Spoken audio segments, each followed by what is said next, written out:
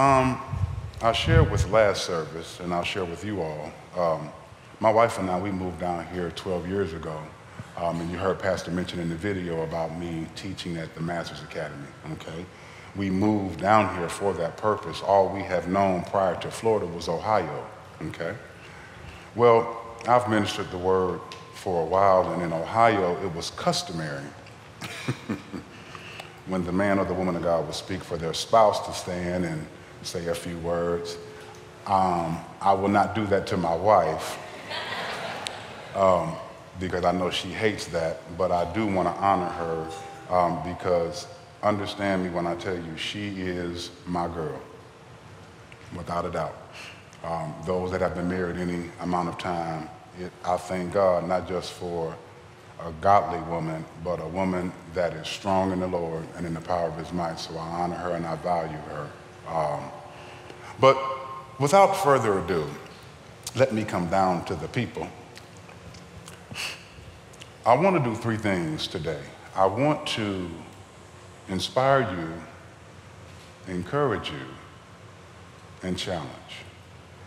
I want to inspire you to dream big, to take the limits off of God. Okay? I want to encourage you to never settle for less than God's best for your life. Okay? But I also want to challenge you to think differently. I want you to think on another level. I want to challenge you with that. Okay? But I do want you to do me a favor. I'm a teacher at the heart, and I know my students love. I teach juniors and seniors, and they love their phones. Okay, so those of you that have your phone, go and take it out for me just now. Okay, go ahead and take it out. It's okay. We won't write you up. and, and, and, what I want you to do is, is um, I'm gonna take one with you. Okay. Take out your phones and go to your little camera and take a selfie of yourself. Okay. Yeah, go and do that. Take it, I'm gonna take another one. I took one first service. We're gonna take one now. Okay. Mm-hmm. Yes. Okay.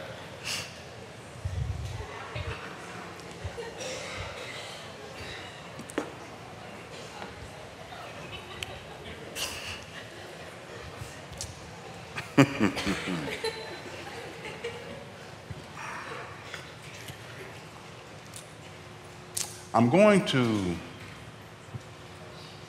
dive into the middle of chapter 13 of Numbers. Chapter 13, verses 26 through 33, okay? They'll have it on the screen for you. I'm starting in the middle, but I'm not going to leave you there. This will set the stage for where we are going today, okay? I'm reading from the New King James Version, and it reads as follows at verse 26 Now they departed and came back to Moses and Aaron and all the congregation of the children of Israel in the wilderness of Paran at Kadesh. They brought back word to them and to all the congregation and showed them the fruit of the land. Okay, they brought back evidence of the fruit of the land. They brought back what they had found. And verse 27 then they told him and said, We went to the land where you sent us.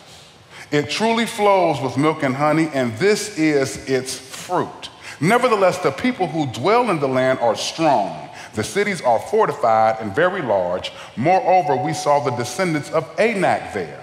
The Amalekites dwell in the land of the south, the Hittites, the Jebusites, and the Amorites dwell in the mountains, and the Canaanites dwell by the sea and along the banks of the Jordan. Then Caleb quieted the people he quieted the people before Moses and said, Let us go up at once and take possession, for we are well able to overcome it. But the men who had gone up with him said, We are not able to go up against the people, for they are stronger than we. Verse 32 And they gave the children of Israel a bad report of the land which they had spied out, saying, The land through which we have gone as spies is a land that devours its inhabitants, and the people whom we saw in it are men of great stature. Verse 33 There we saw the giants, the descendants of Anak came from the giants. Watch this now, and we were like grasshoppers in our own sight. we were like grasshoppers in our own sight. We were like grasshoppers, not in their sight, but in our own sight. Watch this. And so were we in their sight. We saw ourselves as grasshoppers. If I had to give you a title today, I would simply title this message Grasshopper. Just one word Grasshopper. If my good friends in the back room will put up the first image for me, I want to tell you a story that was shared with me many years ago, okay? And this will set the stage for where we're going today. Many years ago, I was told the story of a young man by the name of Mr. Brown who worked here in the United States, and he worked here in the United States, but he represented a family who was a royal family who lived overseas. And he oversaw their businesses here in the United States. And once a year, he would travel over to the foreign land in which they lived, the other country, and he would spend maybe two, two and a half weeks there, do some business, connect with them. And every time he would go there, upon his departure back to the United States, they would want to bless him with a gift. Now, you have got to understand, this man does not lack resources, okay? But he understood that going there, it was the culture there that if someone offered you a gift, to not take it would offend them. So in years past, he would ask for some cufflinks, a necktie, okay? Obviously, he could buy these things for himself, but he said, okay, you want to bless me? Fine. Well, he's leaving the family, the royal family, and as upon his departure back to the United States, they said, You know what's customary, Mr. Brown. We want to thank you for all that you do for us. We'd like to bless you with a gift. He tells them, I would like a golf club. They said, A golf club? He said, Yeah, a golf club. Now, you see the picture there, that's a picture of some golf clubs. He just wanted one, just one club. Golf club. They said, Okay. He boards the plane, flies back to the United States. Three weeks pass, four weeks pass, it's the weekend. He's at home with his wife. Saturday, he has on his pajama bottoms, t shirt. He hears a knock at the door. He runs down the steps, opens the door, and standing in the doorway is a representative from the royal family. And they say to Mr. Brown, um, Are you Mr. Brown? Mr. Brown says, Yes, I'm Mr. Brown. What can I do for you? He says, I'm a member of the royal family. I'm here to take you to your golf club.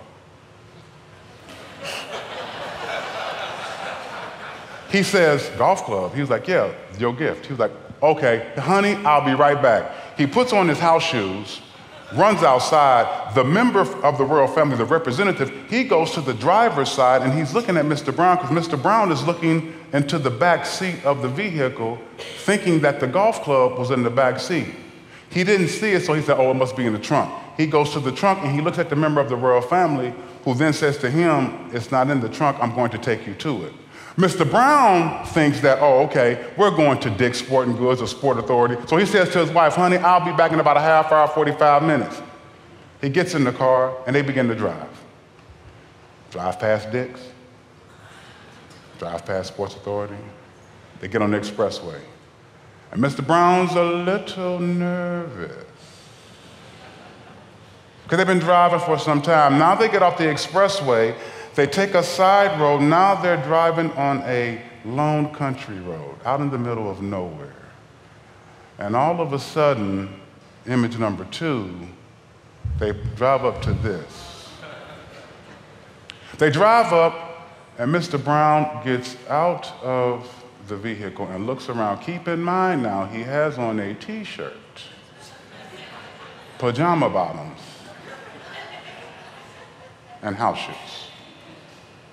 He's standing there, and the man gets out in his royal apparel, and he looks at him and says, um, Sir, what is this? The representative of the royal family said, This is your golf club.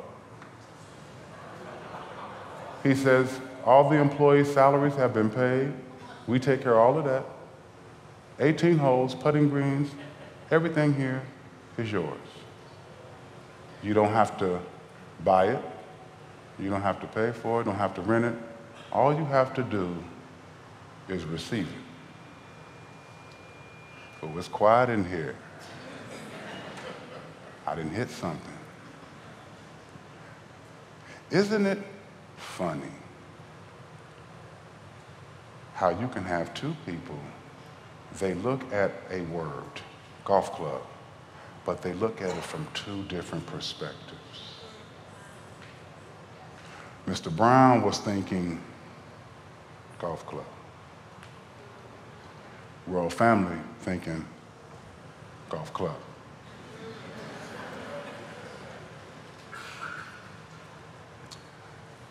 I want to put today's text in context for you, and as I do that, I want to extrapolate, if you will, some nuggets that we can apply to us in present day.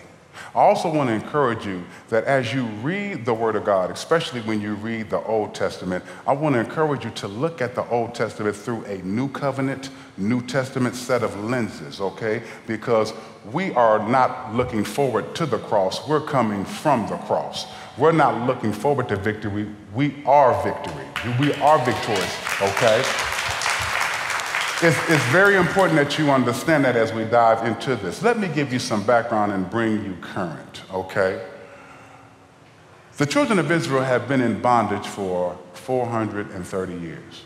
Moses is raised up by daddy, and he sends them in there to free the children of Israel. They cross the Red Sea, the Egyptians drown in the Red Sea, and now they are in the wilderness. But daddy never pulled them out of Egypt and, and brought them into wilderness to stay okay? He was getting them ready for the promised land, the land of Canaan, okay? So now the Lord told Moses, Moses, select some men to go out and spy out the land. Go in and check it out. I want to know, I want them to find out that people are strong, if they're weak. I want them to find out about the vegetation and all these things. And I want them to get all their, collect all their data, do a lot of research which I thought was very interesting as God was taking me through this, because anytime daddy is leading you into something, he wants you to get involved in the research process. He wants you to do your research, because I have learned this down through the years. You cannot make quality decisions based upon poor information. Let me tell you why. Because ignorance is expensive. Anywhere you apply that in your life, you will be blessed. I told them first service, and I share this with you all. Many of my students, they're teenagers, juniors, and seniors, 16 years old to 18 years of age. They're all about relationships, platonic and romantic. I get that. We were created by a relational God to be in relationships, absolutely. And you know the fellas, coach, she look good. I understand that. The young ladies, ooh, coach, he's attractive. I get all of that. I get all of that. I said, but troops, there's got to be more than just how they look. Because fineness will wear off.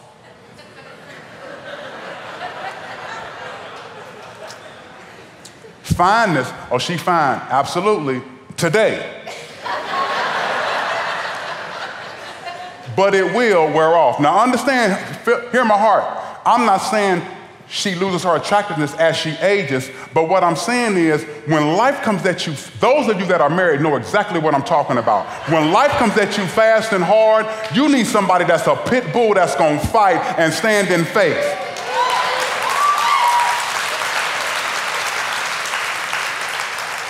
You ain't got time for nobody that's soft, weak, mealy mouthed. The devil is a lie. See, oh my gosh, you know, Listen, when I was born and raised, I was taught that praying in tongues and being baptized in the Spirit, all that stuff had passed. But then I had children. I got filled with the Holy Ghost real quick. Because you need Spirit of the living God. To, I know I do, but them jokers I got, I need God. I'm trying to get us to understand that God wants us getting involved in the process, but we got to do our research. So he sends in 12 spies to check out the land. And those 12 spies were there for 40 days, okay? Two of those 12 spies were Joshua and Caleb. We pick up in the text where they now have returned to the people and they are giving them a report of what they saw. They even brought back evidence of fruit from the land. If you study this out, the Bible says, if you read it for yourself in the Bible, you can read it for yourself. They brought back some fruit. They brought back a cluster of grapes, and they were so big, it took two men to carry them on a beam, one on the front end, one on the back end, and they had to squat and carry it. I think this through. I just want to bless you with this. If the grapes were that big that it took two grown men to carry a big cluster of grapes back to them, keep in mind, this is the size of the grapes after Adam and Eve had got put out the garden. If they were that big after, how big were they before? Now you look at a cluster of grapes, they this big. You could throw the whole thing in your mouth. See? They brought back evidence. They brought back evidence and they told the people, yes, the land is flowing with milk and honey. Not literally, meaning that it's opulent, it's full of abundance. Yes, yes, yes, yes. All these things that God said is true. However, the people there are stronger than we are. They're stronger than us. And the cities are big, the, the walls are tall. And here it is now. They go there and they bring back an evil report. Now, let me put a pause button here. Because oftentimes when I heard this preached when I was growing up, whoever was speaking on this would always throw the 10 spies under the bus. But I want us to look at it from their perspective. Because I want you to understand these individuals, although they are the chosen children of God, have been in bondage for over 400 years in Egypt. So you gotta know, being in that environment that long, they probably started to think like the Egyptians, believe like the Egyptians, live like the Egyptians who worship idol gods. Everything they did appealed to the senses. Here it is now, they're out in the wilderness, okay, and they're now are being encouraged to put their faith and trust in the God that they do not know.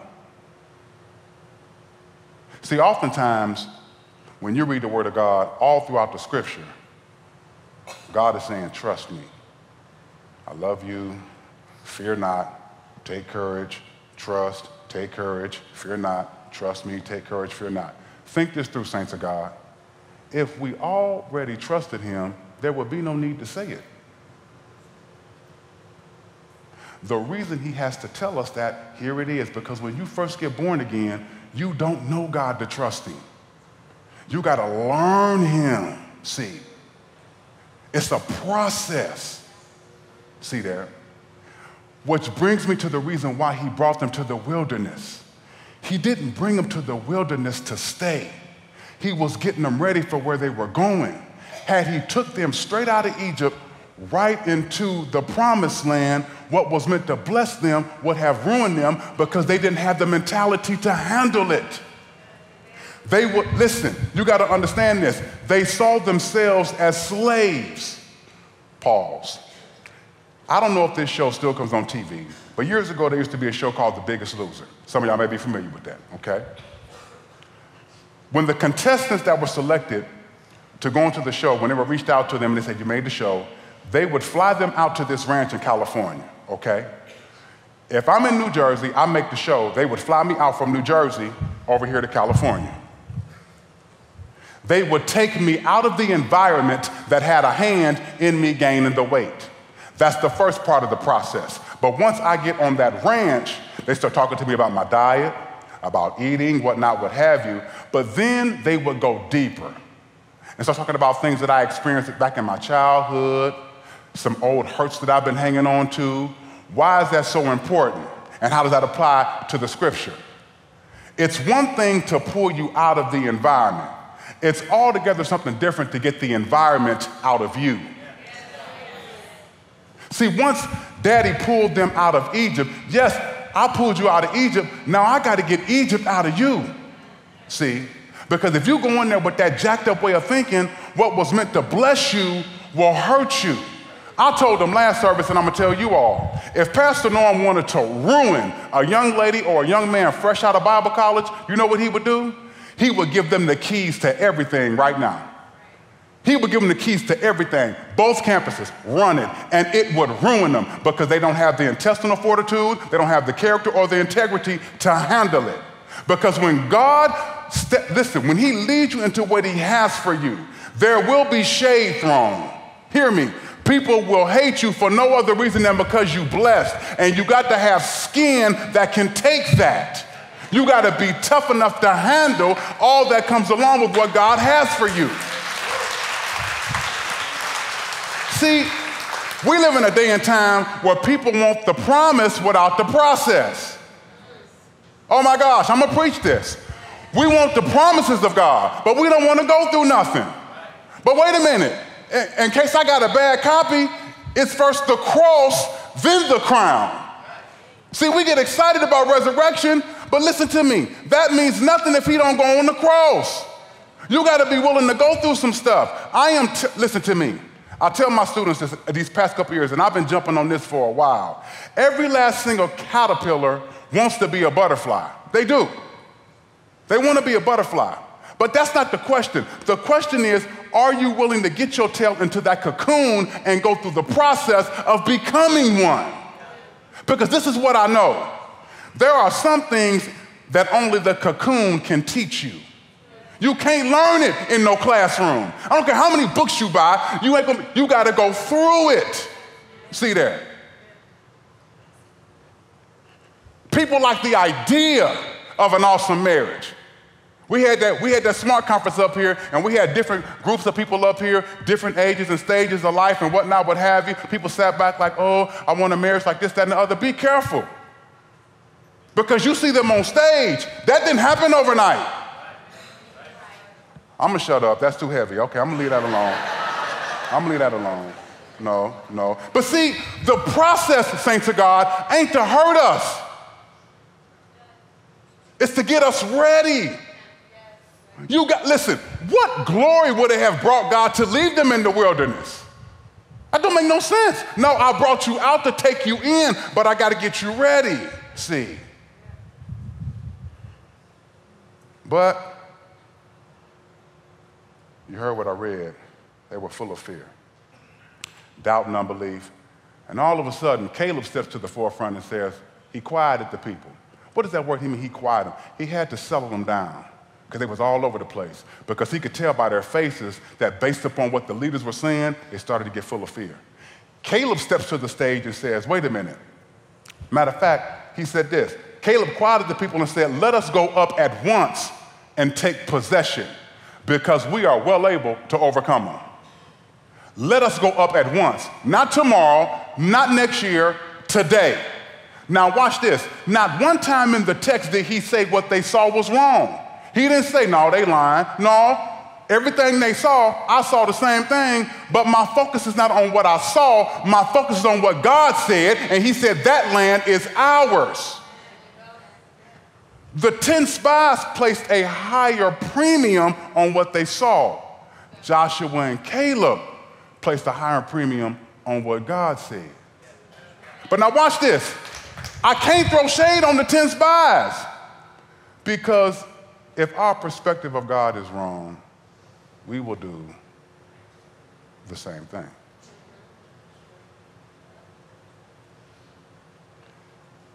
Nowhere in Scripture did God call the children of Israel grasshoppers. They called themselves that.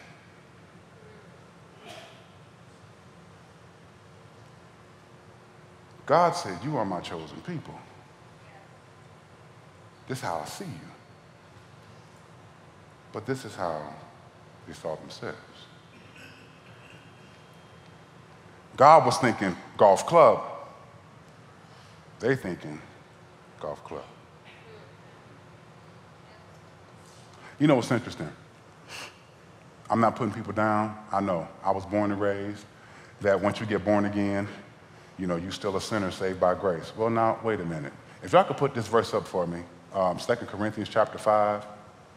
The Bible says, now I didn't write this, Paul wrote this. He said, when, when someone becomes a Christian, we got any Christians in here? Anybody a Christian? Okay, well, if anybody's a Christian, he's a brand new person. Where? On the inside. You're not a combination of the old and the new, you're brand new. He is not the same anymore. He is not the same anymore in the Greek and Hebrew means exactly what you just read. He is not the same anymore. A new life has begun. But we have a lot of Christians that still want to hang on to the old. And I want to ask you something. If God is not hanging on to it, why are we? See, according to the Word of God, oh my gosh, the clock is not on my side. Listen at this. according to the Word of God, you and L you forgiven, you healed, you the righteousness of God. Wait a minute. That next verse, put that next verse up for me, my brother. Now then, we are ambassadors for Christ. And ambassadors are representative. In order for you to represent your king well, you got to know him. See? We're representatives. Hear me now. As though God were pleading through us, we implore you on Christ's behalf, be reconciled to God. For he made him who knew no sin to be sin for us, that we might become the righteousness of God in him. Listen to me. Last year, my wife and I and the kids, we went to Kentucky and visited the Creation Museum. If you get a chance, I would really encourage you to do that. The Creation Museum and the Ark Experience. At the Creation Museum, as we're walking through there, we come to the end of the exhibit, and they are I mean, they are intentional about communicating to everybody that comes through there that everything that Adam lost, everything that Adam lost, they are intentional about communicating that Jesus got back. The Bible says that if you've been born again, that Christ is in you, the hope of glory. Sin, one of, one of the meanings of sin is separation. Okay, if you've been born again and Christ is in you, how can you still be separated from him? I am telling you, when you don't know these things, you still see yourself as a worm in the dust trying to make heaven your home. Let me help you. You ain't got to try to make heaven your home because it's already yours right now. See, because of Jesus. So when you get Jesus, you get it all. Everything that Adam lost, Jesus got back. See there? The Bible says that because of Jesus, we are generous, compassionate, we're kings and priests. The, according to the word of God, you royalty. Not in the great by and by, right now. Now, see, I'm saying this to some of y'all like, well, you don't know what I done last week. Listen to me. We're talking about renewing your mind to who God says you are right now. You know why I'm talking to you like this? Because you got territory to go take. God got purpose for every last single one of us. Gifts, talents, and abilities have been put in you before the foundation of the world. And I am telling you, you are doing nobody any favors dumbing yourself down. You're not doing us any favor. I'm not going to pursue the dream. Why not? I tell my players that I coach, somebody got to win tonight. It might as well be us.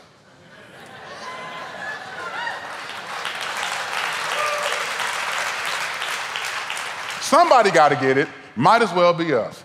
I'm telling us the exact same thing. All that God has done for us in the person of Jesus Christ, do you honestly think He did that for us to settle for less than His best? Absolutely not. Absolutely not. Somebody has got to impact your sphere of influence. Might as well be you. Might as well be you. See, God has wired and created us in such a way that the environment that He places us in needs the gifts and abilities that are within us. And as you step into that environment and that environment pulls on that gift, the people are blessed and you are fulfilled and God gets the glory. You are effective, you are productive, and you are impactful. A life well lived. But see, that does not happen as long as we see ourselves as worms in the dust. I'm just a wretch. No, you in the family of God. Jesus said, As I am, so are you in this world. Christ in you, the hope of glory. See there? Come on, that's in the Bible. Okay? Now, let me bless you.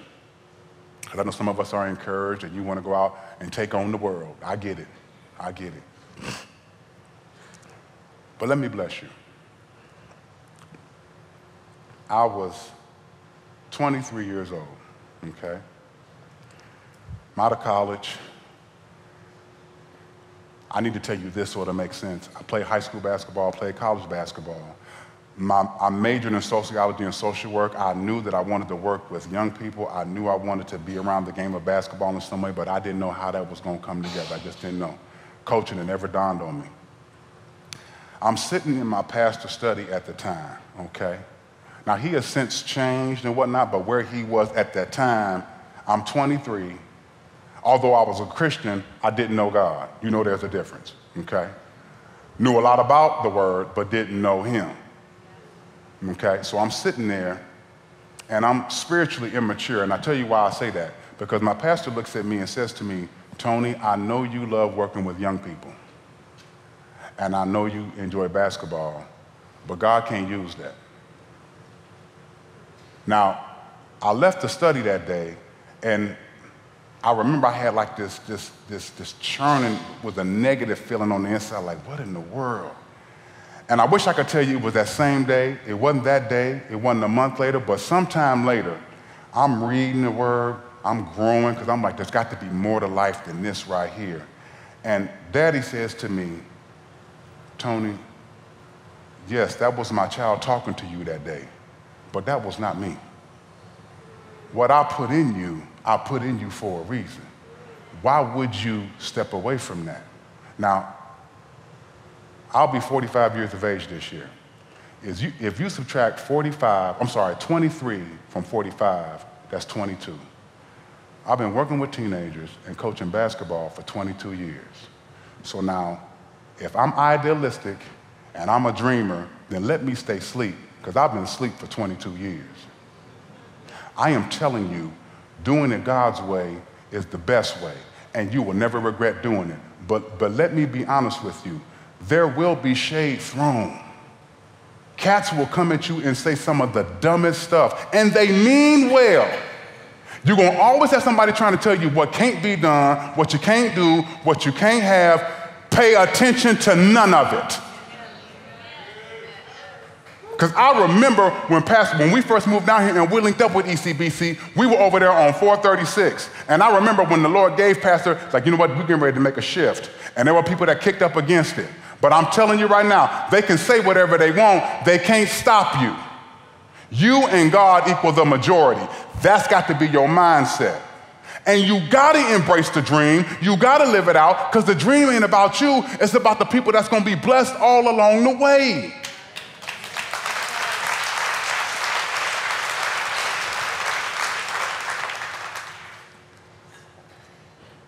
Those of you that know the story of Joshua and Caleb, and the children of Israel.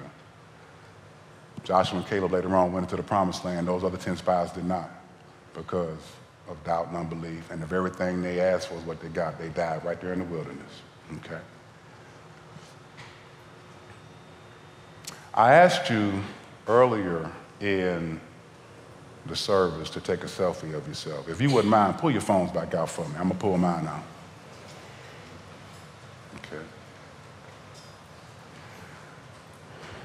We talked about in today's service about how God sees you. You righteous, you redeemed, you whole, you complete. God ain't holding your past over you. You righteous right now. You a king right now. You a queen right now. You prosper right now. But my question to you isn't how God sees you. The question I want to leave you with is how do you see yourself?